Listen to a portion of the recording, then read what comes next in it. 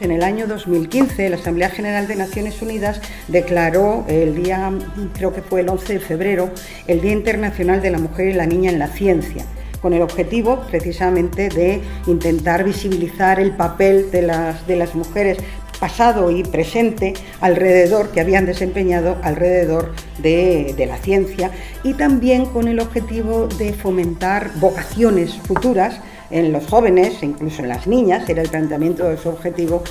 alrededor de, para buscar, eh, para, para mm, animar a futuras mm, científicas, investigadoras, alrededor de las áreas de la ciencia, la tecnología, la ingeniería y las matemáticas. Hace 150 años hubo unas cuantas mujeres, Elizabeth Fry, Florence Nightingale, que dijeron, no voy a seguir las convenciones que se me dan, y decidieron pues, que nos iban a casar y que en su lugar se iban a dedicar a los enfermos y que ya no era solo cuidar a los enfermos o cuidar a las presas, era enseñar a los demás cómo tenían que cuidar a sus enfermos para que ese cuidado que durante tantísimos siglos hemos visto, un cuidado que iba a lo largo de toda la vida, de personas que se preocupaban por otras personas,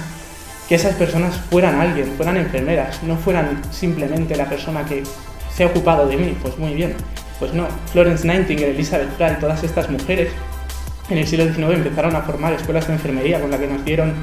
esa primera piedra para profesionalizar el cuidado, para que realmente la sociedad visibilizara una, contribución social que es, es una constante a todas las culturas.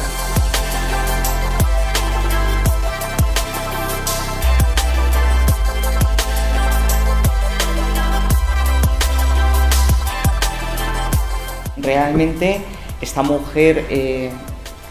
era un compendio de, sabiduría y no solamente un compendio de sabiduría, sino también de humanidad. Y este compendio de, de, cualidades yo creo que es algo que de alguna manera todas las enfermeras y todos los enfermeros tenemos que llevar en nuestra esencia. Eh, nuestra esencia y nuestra razón de ser es el cuidado de los otros y desde luego nunca debemos de perder de vista esto que está inherente en nuestra profesión y como dice Pablo, somos enfermeras 24 horas al día, 365 días del año.